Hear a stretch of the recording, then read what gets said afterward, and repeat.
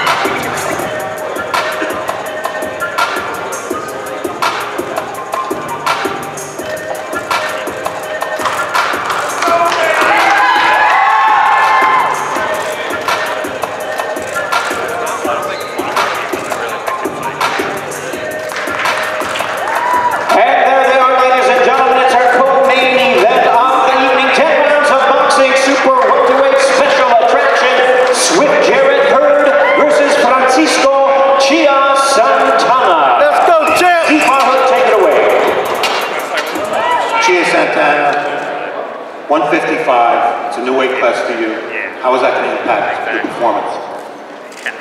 Well, I mean, I have to make 47. no, uh, you know, it, it's it's uh, it's not. It, it is a new weight class because it's been a little it's been a little while since I've been up here. But I fought Charles Owen, I fought Julian Williams, and, and I fought many other fighters up at the court in, in the past. So I'm just revisiting this new area.